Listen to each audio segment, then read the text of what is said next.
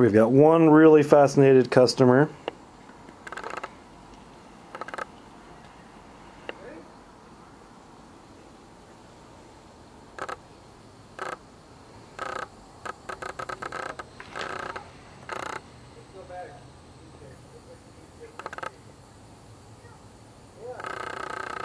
Hey, Puma.